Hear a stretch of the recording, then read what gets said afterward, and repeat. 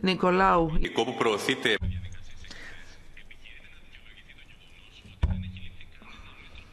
για τους εργαζομένους στους χώρους δουλειάς, στα μέσα μεταφοράς, στα σχολεία.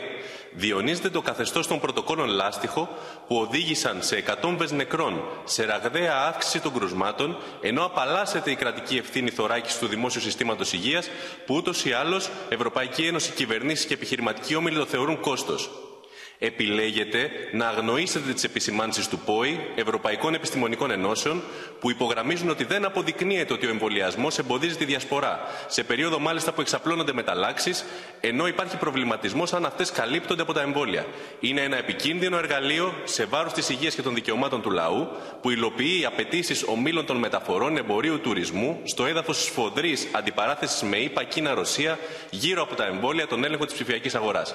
Είμαστε αντίθετοι στο πιστοποιητικό σημαντικό επίσης γιατί προσθέτει νέους μηχανισμούς ψηφιακού φακελώματος με τη μαζική συλλογή, επεξεργασία, αξιοποίηση ιατρικών και άλλων δεδομένων από Ευρωπαϊκή Ένωση, κράτη, εργοδότες και ομίλους, παραβιάζοντας κατάφορα θεμελιώδη λαϊκά δικαιώματα.